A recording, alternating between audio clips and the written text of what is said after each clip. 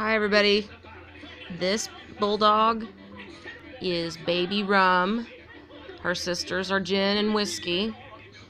She is a champion line, color carrying, AKC, English Bulldog. I know that's a lot, but she's a good dog.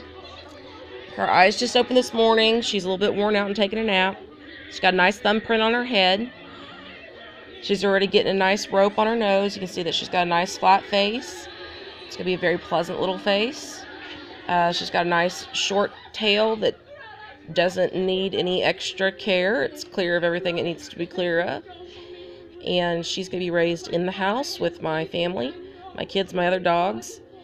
And uh, she'll probably be mostly housebroken and have some have some manners training before we let her go to her forever home. Now we do vet our buyers. Um, we like to make sure that anybody that purchases a puppy from us understands the training and care needs. They're English Bulldog puppies because they're a little bit different than just your average beagle. So we really love our puppies. And uh, if you have any questions, please leave positive comments in the section below.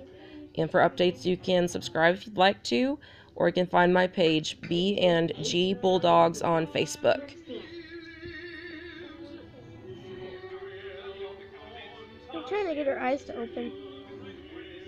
Come on. open those eyes. It's okay.